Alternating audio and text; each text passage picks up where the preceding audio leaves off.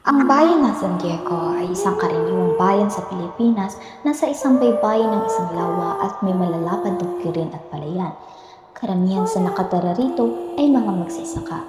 Dahil sa kanilang kamangmangan, ang mga inaani produktong agrikultura ay naipagbibili nila ng murang-mura sa Chino.